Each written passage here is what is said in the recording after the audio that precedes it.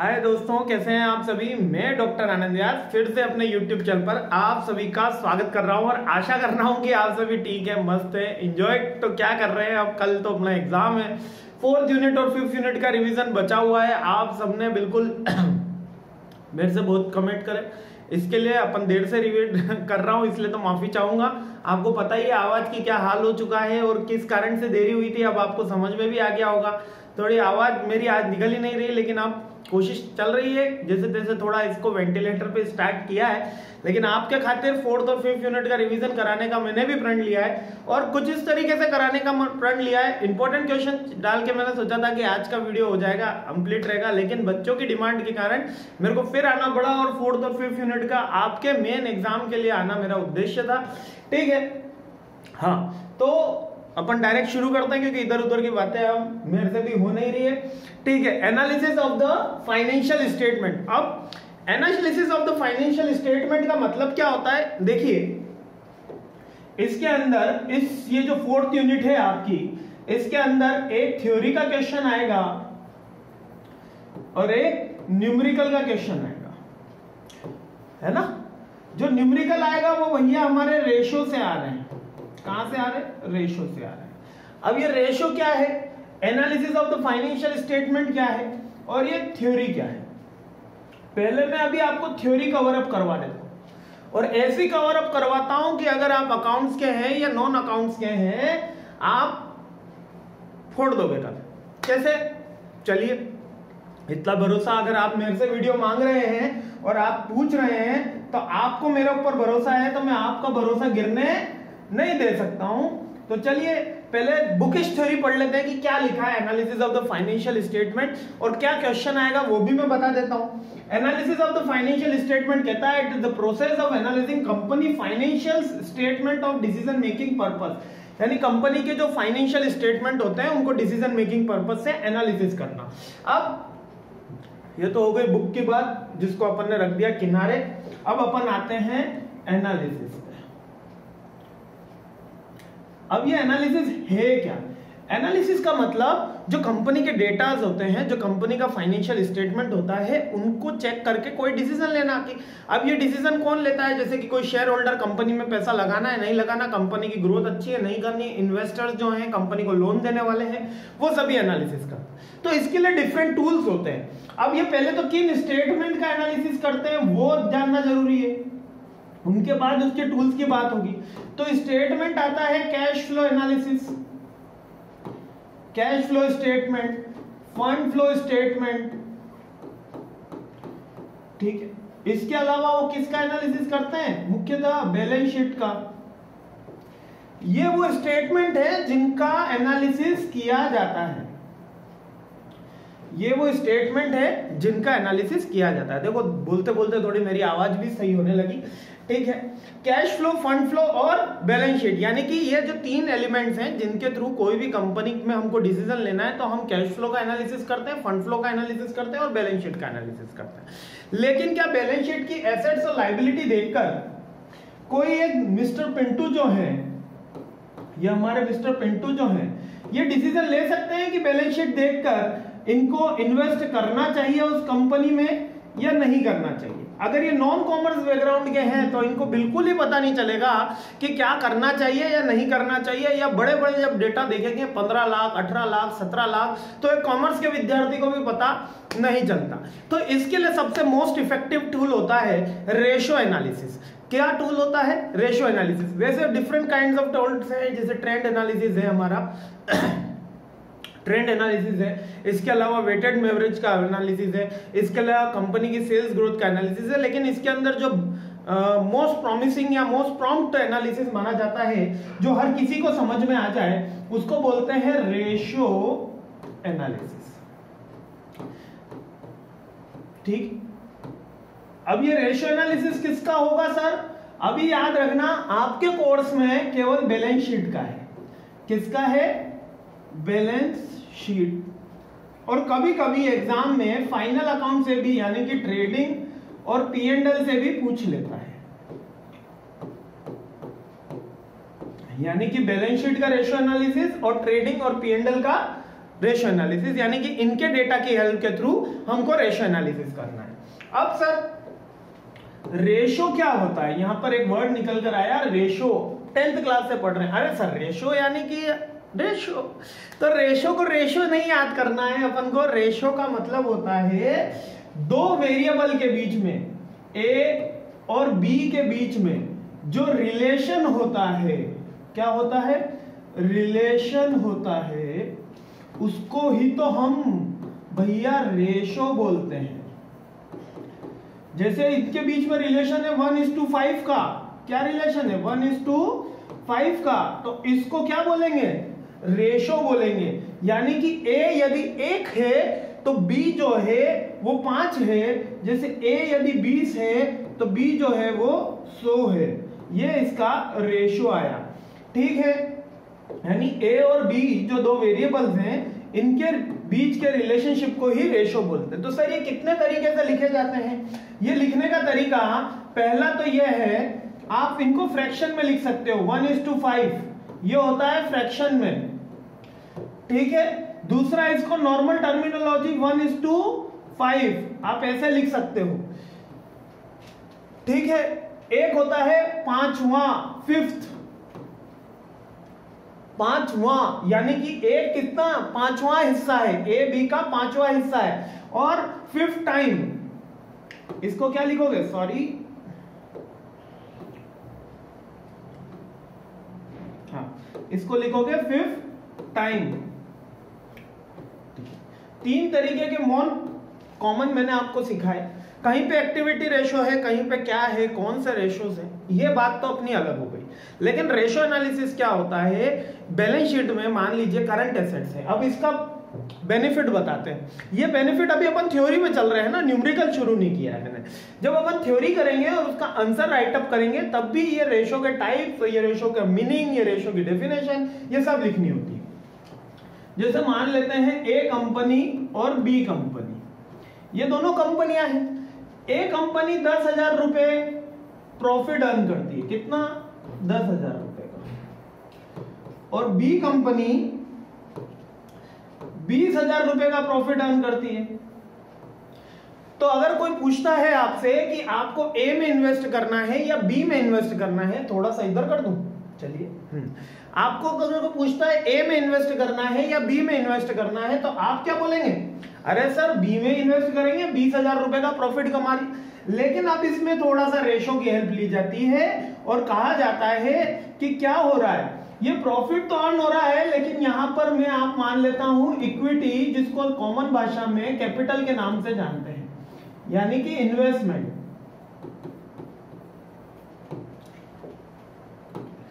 अब ये जो इन्वेस्टमेंट हुआ है ए ने इन्वेस्टमेंट किया था बीस हज़ार रुपए। कितना इन्वेस्टमेंट किया था? बीस हज़ार रुपए। और बी ने इन्वेस्टमेंट किया था दो लाख रुपए का। कितना इन्वेस्टमेंट किया? दो लाख रुपए का। अभी थोड़ा आराम आराम से चल रहे हैं, हौले हौले। ए ने प्रॉफिट कमाया दस हज़ार रुपए और ए ने इन्वेस्टमेंट किया बीस हज़ार रुपए का। बी ने प्रॉफिट कमाया दो लाख रुपए और बी ने इन्वेस्टमेंट किया दो लाख रुपए का। यानी यहाँ पर आप रेशो निकालोगे तो रेशो निकाल के आपको चीज़ समझ में आएगी, यहाँ पर प्रॉफिट है वन इज़ टू टेन के रेशो में और यहाँ पे प्रॉफिट है वन इज़ टू टू के रेशो में। यानी कि दो रुपए लगाओगे तो एक रुपए कमाओगे, दस रुपए लगाओगे तो एक रुपए कमाओगे। अब आप बताइए कि कितने पैसा लगाएँगे? देखिए रेशो का ये बेनिफिट होता है कि रेशो हमें एक ओवरव्यू देता है डिसीज़न मेकिंग लेने में हेल्प करता है कि कौन सी कंपनी अच्छी है, कौन सी कंपनी खराब है।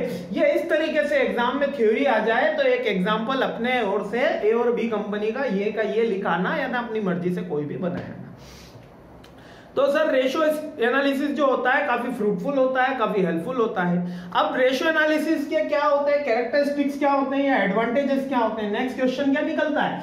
इसके एडवांटेजेस क्या होते हैं? किसके? रेशो एनालिसिस के।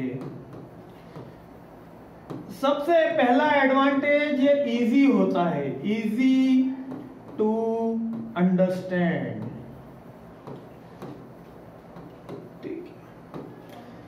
second, accurate होता है। ठीक। तीसरा, क्विक होता है। फास्ट, हम रेशो कैलकुलेट कर सकते हैं। इजी टू अंडरस्टैंड होता है, एक्यूरेट होता है, क्विक होता है, और रेशो नॉन कॉमर्स के विद्यार्थी भी समझ पाते हैं। तीन एडवांटेज बहुत है। चौथा भी बहुत सारे, वैसे तो 10 12 एडवांटेज आपके बुक के अंदर दिए हैं। जैसे कि ये एक्चुअल रिप्रेजेंटेशन करता है कंपनी की फाइनेंशियल का, यानी रिलायबल होता है रिलेवेंस होता है मटेरियलिस्टिक होता है, ये तीन पॉइंट इसमें भी लिख दें रिलायबल होता है रिलेवेंस होता है मटेरियलिस्टिक होता है इजी टू कैप्चर होता है एक्यूरेट होता है क्विक होता है, ये इसके एडवांटेज हो गए। अगर मैं इसके डिसएडवांटेज की बात करता हूँ, ठीक है अगर मैं इसके डिसएडवांटेज की बात करता हूँ तो ये बेस्ड ऑन डेटा होता है। किसके बेस्ड होता है? अगर डेटा के बेस है तो अगर ह्यूमन एरर है, अगर वो बुक्स ऑफ़ अकाउंट्स में गलत लिखा है तो रेशो तो गलत आएगा ही। दूसरा बेस्ड ऑन डेटा होता है ओनली क्वांटिटेटिव चीज़ें बताता है। क्वालिटेटिव चीज़ें क्वांटिटेटिव चीज़ें बताता है क्वालिटेटिव चीज़ें नहीं बताता। जैसे कि जो नंबर्स में उन्हीं को डिफाइन कर पाता है, रंग, रूप, उस किस सिचुएशन में देता है, वो नहीं बताता। टैक्स या सेल्स या मार्केट कंडीशन ये तीनों एक ही नाम है। अब मार्केट कंडीशन और टैक्स अलग अलग होती हैं, लेकिन फैक्टर में एक ही लेते हैं। तीन क्वेश्चन लिख देना। सेल्स कितनी हो रही है, मार्केट कंडीशन क्या है, या टैक्स कितना बड़ा है, गवर्नमेंट पॉलिसीज़ क्या है, उनको रेशो नहीं बता पाता। यानी कि गवर्नमेंट ने टैक्स बढ़ा दिया, हमारा प्रॉफिट कम हो गया, रेशो ये थोड़ी बताएगा, रेशो तो यही बोलेगा कि प्रॉफिट कम हुआ। किस कारण से कम हुआ, रीजन नहीं बता पाता। ये कुछ उसके डिसएडवांटेज हैं, कुछ एडवांटेज हैं। कैरेक्टरिस्टिक्स और एडवांटेजेस कॉमन होती है। इजी टू अंडरस्टैंड मटेरियल होता है रिलेवेंस होता है रिलायबल होता है, ये उसके नॉर्मल सारे के सारे पॉइंट हैं। आई होप रेशियो एनालिसिस की बेसिक जो थ्योरी है फंडामेंटल अभी तक आपको क्लियर हो गई होगी। आगे बढ़ता हूँ। रेशो कितने तरीके के हैं? वैसे तो यहाँ बहुत सारे दे रखे हैं। आ जाओ चार्ट में भी लाया हूँ मैं। चार्ट में क्या कह रहे हैं भैया जी? रेशो चार्ट में कह रहे हैं कि लिक्विडिटी रेशो है प्रॉफिटेबिलिटी सॉल्वेंसी टर्नओवर और अर्निंग कितने तरीके रेशो है? पाँच तरीके के रेशो तो जो भी रेशो से डर रहा था, उसको डरने की ज़रूरत नहीं है, क्योंकि मैंने पाँच तरीके के अपने कोर्स के अंदर रेशो है, और एक रेशो की टाइप आता है पूरा ये। एक दूसरा रेशो का टाइप आता है ये। तीसरा रेशो का टाइप आता है ये। यानी कि एग्ज़ाम के अंदर ऐसा नहीं होगा, एक यहाँ से पूछ लेगा, एक यहाँ से पूछ लेगा, पाँच में से एक ब्लंक पूरा का पूरा आएगा। ठीक है? अब वैसे तो प्रॉफिटेबिलिटी के अंदर और भी है, लेकिन ये पाँच रेशो के आपके पॉइंट्स हैं। अब ये यहाँ पर इतना इसलिए डिटेल में नहीं करना हूँ, केवल इनका बेसिक ओवरव्यू थ्योरी में आपको समझा देता हूँ। लिक्विडिटी रेशो कंपनी में लिक्विडिटी चेक करती है कि कंपनी में तरलता कितनी है, यानी कि गल्ले में कितना पैसा पड़ा है। मान लेते हैं मेरे पास सौ रुपए है, मेरे पास गल्ले में सौ रुपए है, और कोई मांगने के लिए मेरी दुकान के बाहर पचास रुपए वाला व्यक्ति आ गया। पचास रुपए के लेनदार खड़े हैं और मेरे पास अभी अकाउंट्स में कितने रुपए है? मतलब गले में कितने रुपए सौ रुपए तो क्या ये अच्छी कंडीशन है? अरे, बहुत अच्छी कंडीशन है। पचास ही चुकाना है। लेकिन दोस्तों, उन पचास का मैंने अच्छे तरीके से इस्तेमाल नहीं किया। यानी सौ रुपए मेरे गले में थे, मैंने केवल पचास का ही सामान खरीदा। सौ रुपए गले में होने चाहिए और मांगने वाले भी सौ रुपए होना चाहिए। That is current ratio quick ratio अब प्रॉफिटेबिलिटी यानी कि प्रॉफिट में कितना अर्निंग हो रही है? अभी अपन ने जो रेशो निकाला था ना ten thousand upon one lakh वो प्रॉफिटेबिलिटी ग्रॉस प्रॉफिट पे कितना कमा रहे हो नेट प्रॉफिट पे कितना कमा रहे हो? सॉल्वेंसी रेशो सॉल्वेंसी यानी ऋण लेने की क्षमता। सॉल्वेंसी रेशो क्या होता है? ऋण लेने की क्षमता। डेप्ट equity ratio interest coverage ratio turnover ratio में क्या होता है? टर्नओवर के अंदर fixed asset inventory receivable turnover यानी कि हमारी जो एसेट्स है, उसके कंपैरिजन में हमारा टर्नओवर क्या रहता है? टर्नओवर मतलब टोटल सेल्स क्या बोलते हैं?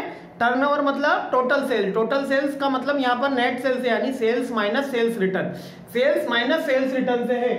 एसेट्स के मुकाबले में कितनी सेल्स हो रही है? इन्वेंट्री के मुकाबले में कितनी सेल्स हो रही है? रिसीवेबल के मुकाबले कितनी सेल्स हो रही है? अर्निंग रेशो प्रॉफिट अर्निंग यानी कि कितना हम कमा पा रहे हैं और अर्निंग पर शेयर यानी कि मार्केट में हमारे जो शेयर है, उनके मुकाबले हम कितना कमा पा रहे हैं। अगर एक भी चीज़ याद नहीं हुई हो तो घबराने की ज़रूरत नहीं है। मैं आपको रेशो याद भी करवाने की पूरी कोशिश कर रहा हूँ और ड्रॉ करवाना सिखा दूँगा। ड्रॉ करवाना सिखा दूँगा मैं याद रखना, जिससे भी कंपेयर करते हैं,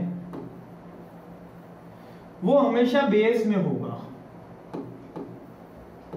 ठीक है? और जिसका कंपैरिजन हो रहा होता है, वो ऊपर होता है। बस इतना याद रख लेना, हर रेशो बन जाएगा। जिसका कंपेयर करते हैं, जैसे कि प्रॉफिट से कंपेयर कर रहे थे, हम किसका कंपेरिजन कर रहे थे? प्रॉफिट का कंपेयर टोटल सेल से या कैपिटल एम्प्लॉयड से कर रहे थे तो प्रॉफिट और कंपेरिजन किससे हो रहा था? नीचे। अरे प्रॉफिट दस का था बट उसको कंपेयर किससे कर रहे थे? हम इन्वेस्टमेंट से। तो ये एक लाख को हमने नीचे रखा था। सॉरी दो लाख को नीचे रखा, बीस हज़ार का। हाँ इसका एक लाख को नीचे रखूँगा अगर मैं तो ये एम्प्लॉय कैपिटल एम्प्लॉयड आ गया या प्रॉफिट आ गया यानी जिसको कंपेयर करते हैं वो ऊपर और जिससे कंपेयर होता है वो नीचे। ये हमेशा जीवन का भी यही फंडा रखिएगा। अब liquidity ratio is the well known ratio तीन तरीके के रेशो होते हैं। अगर फिर भी ना समझ में आए तो दोस्तों, केवल फॉर्मूला याद कर जाना। आधा क्वेश्चन आपको वहीं से मिल जाएगा। क्वेश्चन में सीधे सीधे फॉर्मूला आप पुट ऑन करोगे। एक करंट एसेट दी हुई होगी करंट लाइबिलिटी लिखी हुई होगी एग्ज़ाम में। अगर आपको फॉर्मूला याद है, ऐसे मैंने ये देखा है, जो मेरे एमबीए के भूतपूर्व स्टूडेंट रहे हैं, वो रेशो के question with in ten minutes के अंदर सारे कर लिया करते थे। पाँच मिनट के अंदर बड़े से बड़ा क्वेश्चन निपटा देते थे। मैं कुछ नहीं करता था। मैं उनको बेसिक फंडे बताता था और रेशो के फॉर्मूले याद करवा देता और सीधा सीधा क्वेश्चन आता है, कुछ घुमा फिरा के इसके अंदर क्वेश्चन नहीं आता। तो आइए फॉर्मूला देख लेते हैं। फॉर्मूला सबसे पहला कौन सा कह रहा है? अच्छा ये थ्योरी मैंने आपको वैसे ही बता दी कि लिक्विडिटी चेक करने के लिए करी जाती है। फॉर्मूला पहला फॉर्मूला क्या कह रहा है? पहला फॉर्मूला कह रहा है करंट रेशो सॉरी पहला फॉर्मूला कह रहा है करंट रेशो करंट रेशो का फॉर्मूला क्या है? Current assets current assets divide by current liability current assets divide by current liability को, ये अब आपका तो एमबीए है, इसलिए इसमें करंट एसेट्स भी दी हुई होगी करंट लाइबिलिटी भी दी होगी। अब पहला ही फॉर्मूला है, सबसे सिंपल फॉर्मूला है current assets divide by current liability quick ratio quick ratio liquid assets divide by current liability अब ये सर लिक्विड एसेट्स क्या होती है? जो करंट एसेट्स है ना हमारी करंट एसेट्स क्या क्या होती है? बैंक होती है कैश होता है स्टॉक होता है। तो करंट एसेट्स में से आप स्टॉक माइनस कर दो। क्या माइनस कर दो? स्टॉक माइनस कर दो। तो लिक्विड एसेट्स आ जाती है और divide by current liability divide by current liability ये आपका क्विक रेशो हो गया। एब्सोलेट लिक्विड रेशो ये छोड़ दो। बस, ये मिटा दिया आपने कोर्स का हिस्सा एग्ज़ाम में नहीं आया, अपन बाद में किसी दिन किसी क्लास में समझेंगे। दो ही रेशो याद रखना करंट रेशो और क्विक रेशो। बात खत्म। इतना मुझ पर भरोसा रखो इंडिया आ गया तो मेरे को कमेंट कर करके गालियाँ सुना देना, लेकिन ये नहीं आने वाला है, जहाँ तक मेरा भरोसा है, क्योंकि कभी भी मैंने एमबीए के पेपर के अंदर ये रेशो नहीं देखा है। ठीक है, अब नेक्स्ट आता है प्रॉफिटेबिलिटी रेशो प्रॉफिटेबिलिटी रेशो का मतलब कि हम हमारी कंपनी की प्रॉफिटेबिलिटी चेक करते हैं। अब इसके अंदर तो बहुत ही सिंपल रेशो आते हैं। कौन से रेशो होता है? पहले gross profit ratio operating cost profit operating ratio net profit ratio return on investment ratio तो सबसे पहले पाँच फॉर्मूले हैं इसके अंदर। पहले के दो थे लिक्विड के अंदर। इसके अंदर कितने हैं? पाँच हैं। ग्रॉस प्रॉफिट रेशो जीपी अच्छा ग्रॉस प्रॉफिट एग्ज़ाम में दिया हुआ होता है। लिखा है नेट सेल्स नेट सेल्स का मतलब याद रखना है, ये एग्ज़ाम में हमेशा आता है कि सेल्स दे रखी होती है तो उसमें से सेल्स रिटर्न माइनस करना होता है तो हमारे पास नेट सेल्स आ जाती है। Sales minus sales return equal to अरे एक लाख रुपए का सामान बेचा था, वो ग्राहक ने आके दस हज़ार का मुझे वापस कर दिया तो वास्तविक सेल तो नब्बे हज़ार की हुई। एक लाख का सामान बेचा था, दस हज़ार का वापस कर दिया तो वास्तविक सेल कितनी हुई? नब्बे हज़ार की हुई। तो gross profit upon net sales into hundred ये परसेंटेज में आएगा। जब भी इंटू हंड्रेड यानी कि अगर मान लेते हैं दो हज़ार रुपए का लाभ कमाया दो हज़ार रुपए का लाभ कमाया, बीस हज़ार रुपए की सेल्स करके तो ये वाला जो रेशो रहेगा, कितना रहेगा? यहाँ पर टेन परसेंट यानी ये रेशो इस तरीके से लिखेंगे। ये रेशो को 10 प्रतिशत से, यानी कि याद रखना प्रॉफिटेबिलिटी के जितने भी रेशो होंगे परसेंटेज में शो होंगे इनटू 100 लगाया जाता है। नेट प्रॉफिट का भी सेम रहता है। इसके अंदर इंपॉर्टेंट रेशो मैं आपको बता देता हूँ।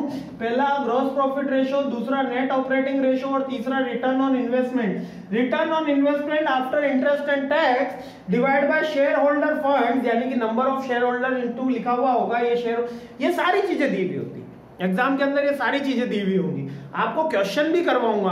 अगर आज ताकत रह गई फिफ्थ यूनिट के बाद तो रेशो एनालिसिस के अपन क्वेश्चन भी करेंगे। आगे आगे, पाँच वो कंप्लीट हो गए। बारह तक यहाँ तक है। अब बारह के अंदर earning per share dividend payout return on capital earning per dividend price earning net profit तो सर याद कैसे करें इतने सारे? मैंने क्या बोला था? मैंने ये बोला था ना, जिसका कंपैरिजन हो रहा है, वो भैया ऊपर रहेंगे तो डिविडेंड पे आउट करना है अपन को? तो डिविडेंड पर इक्विटी शेयर ऊपर कर दो। और किससे करते हैं ये? अर्निंग पर शेयर से करते हैं into hundred earning per share करना है तो ये preference net profit after tax ऊपर रहेगा divide by gross capital employed into hundred ये कैपिटल इंप्लॉयड का है। प्राइस अर्निंग रेशो का प्राइस पर शेयर ऊपर आ जाता है। ये फॉर्मूला तो आपको याद करने पड़ेंगे इसकी। ट्रिक केवल यही है कि नीचे कंपैरिजन वाला लेगा और जिसको कंपेयर करते हैं वो ऊपर रहेगा और ये सिंपल से फॉर्मूला है। इसके अंदर भी अर्निंग पर शेयर वाला इंपॉर्टेंट है डिविडेंड वाला इंपॉर्टेंट है प्राइस अर्निंग वाला इंपॉर्टेंट है और रिटर्न ऑन कैपिटल वाला। यानी कि पिछले के पाँच और इधर के चार टोटल प्रॉफिटेबिलिटी में नो रेशो आपको याद करने टोटल ग्यारह ही रेशो हुए हैं अभी तक। कितने रेशो हुए हैं? ग्यारह फॉर्मूला आगे आ जाते हैं। सॉल्वेंसी रेशो अब सॉल्वेंसी रेशो में मैंने देखो, यहाँ पर कितने सारे बताए थे आपको। कहा गया? ये रहा। सोल्वेंसी रेशो के अंदर दो रेशो बताए थे डेप्ट इक्विटी और इंटरेस्ट कवरेज और जब मैं एग्ज़ाम के अंदर आपके लिए लेकर आया हूँ तो केवल एक ही रेशो लेकर आया हूँ सोलवेंसी रेशो डायरेक्ट डेप्ट इक्विटी इंटरेस्ट कवरेज कुछ भी नहीं, फलाना दिमागा। केवल ये फॉर्मूला सीधा सीधा थोड़ा और बड़ा कर दू, ठीक है? क्या लिखा है? Net profit after tax plus depreciation यहाँ पर क्या लिखा है? डेप्रीशिएशन को ऐड कर दिया net profit after tax plus depreciation divide by short term liability plus long term liability अब यहाँ short term long term liability नहीं, इसको लिख देना टोटल लाइबिलिटी वो तो कंफ्यूज करने के लिए उसमें लिख देता है। अब अपन सर कैसे याद करें इसको? इसको याद करवा दो। तो सर, जो सोलवेंसी रेशियो है, इसका फॉर्मूला क्या है? सोलवेंसी रेशियो का फॉर्मूला सोलवेंसी रेशियो का फॉर्मूला आपको क्या बोलना है? Net profit after tax plus depreciation divide by total liability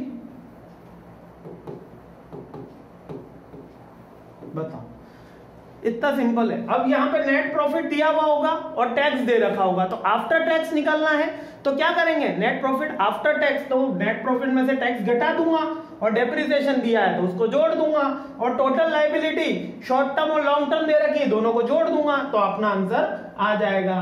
अगला एक्टिविटी रेशो अब ये एक्टिविटी रेशो में चार रेशो अपन को याद रखने कितने रेशो याद रखने हैं?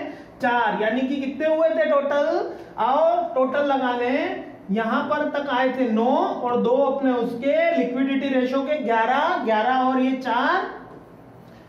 पंद्रह रेशो हो रहे हैं केवल। कोई ये कहते कि सर, एक दिन बचा है, हम नहीं कर पाएँगे। अरे, क्यों नहीं कर पाओगे? तुम भी खाना खाते हो, इंसान हो, तुम्हें भगवान ने बुद्धि दी है। तुम्हारे माता पिता तुम्हारे लिए मेहनत कर रहे हैं, तुम भी पढ़ाई के लिए मेहनत करो, मैं भी तुम्हारे लिए मेहनत कर रहा हूँ। भले कॉमर्स के नॉन कॉमर्स के वो बहाने बनाना छोड़ो, प्रयत्न करो, मेहनत करो, मैं भी तुम्हारे साथ मेहनत कर रहा हूँ, तुम भी मेहनत करो, एक बार जी के तो देखो, मज़ा आएगा जीवन में। थोड़ा सा मेहनत करना, मत घबराओ। आइए देखो, ये चार रेशो अगर मेरी बात बुरी लगे तो थोड़ा पढ़ लेना। है ना? ठीक है। चार रेशो कौन से हैं? एक्टिविटी रेशो पहला activity receivable turnover merchandise inventory total assets और नेट फिक्स्ड एसेट ओ, हो हो हो चलिए, एक रेशो और कम करवा देते हैं। या मर्चेंटाइज इन्वेंट्री टर्नओवर रेशो हटाओ। अब ये एक्टिविटी क्या है? एक्टिविटी का मतलब कि जो सामान आ रहा है, जा रहा है। यानी कि इसमें भी तीन ही रेशो याद कर लेना। अकाउंट रिसीवेबल टर्नओवर रेशो आप देखो तीनों के अंदर एवरेज लिखा हुआ है। Average accounts average total cost average net fix तो एवरेज का मतलब क्या है? एवरेज का मतलब याद रखना दोस्तों, जब भी कभी एवरेज आ जाए, अपने इसके अंदर एवरेज केवल अकाउंट्स के अंदर तो डिवाइड बाय टू होगा। ठीक है?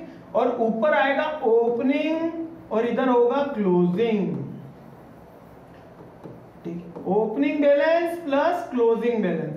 अब आओ, इसके अंदर जब अपन चेक कर रहे हैं ना, sorry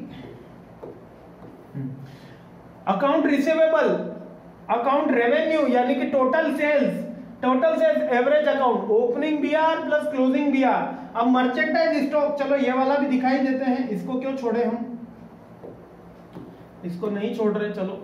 हम्म। क्या लिखा? मर्चेंटाइज इन्वेंट्री नाम ऐसा बड़ा रख दिया तो कॉस्ट ऑफ़ सेल्स सीओजीएस इसको बोलते हैं। कॉस्ट ऑफ़ सेल्स क्या होती है?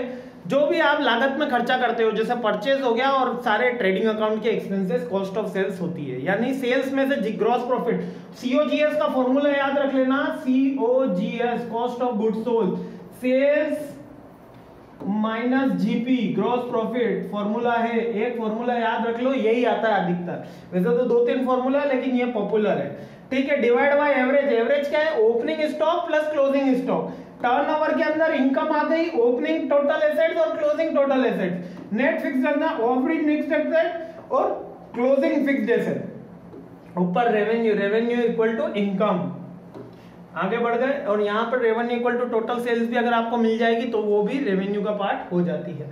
अब मार्केट कैपिटलाइजेशन अब ये नया रेशो दिया हुआ है, वैसे कोई रेशो नहीं है, लेकिन मार्केट कैपिटलाइजेशन क्या है? Market capitalization refers to how much a company is worth as determine market in the it is the defined the total market value is all all standing share तो market capitalisation का एक formula मैंने यहाँ लिख दिया। Total number share allotted by company और current market price sir नहीं समझ आया? अरे मत समझो।